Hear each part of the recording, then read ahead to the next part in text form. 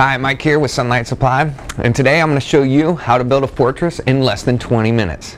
Sun Hut Fortress grow tents are state-of-the-art and built tough, using premium components and materials inside and out.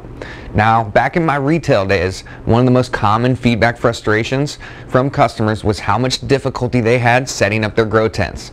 Issue after issue, time after time. Well, the Fortress family of grow tents has made setup a breeze, fast and easy.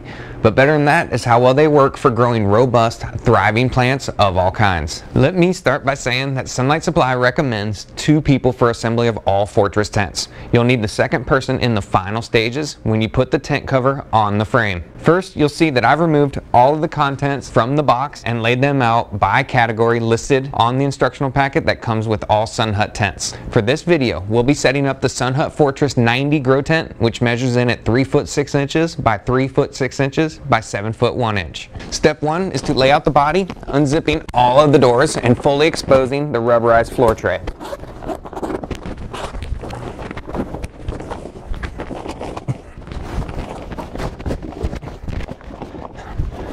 We are now going to install the four floor pulls by connecting them using the heavy duty reinforced polypropylene connectors. The floor and ceiling pulls are designated by the pink sticker.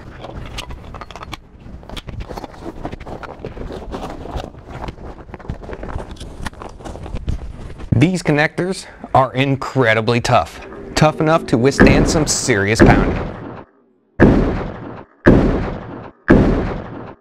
For step two, let's start assembling the frame of the tent by connecting all of the wall poles designated by the green sticker to each other. Make sure that you insert them all the way into the straight connectors.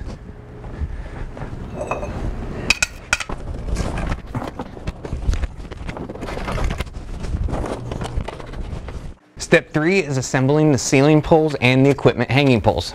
First, attach the remaining three-way corner connectors to the existing wall poles. Step four is to grab a friend and lift and assemble the tent body and fit it over the now completed frame. I've asked John to help us out and we're going to get this done. Once the tent body is correctly and evenly fitted, zip up your doors and make final adjustments to the tent.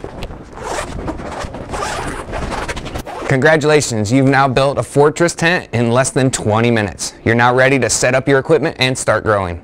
If you have any questions, please leave a comment below. And thanks for watching this video and don't forget to subscribe to Sunlight Supplies YouTube channel for more great informational videos.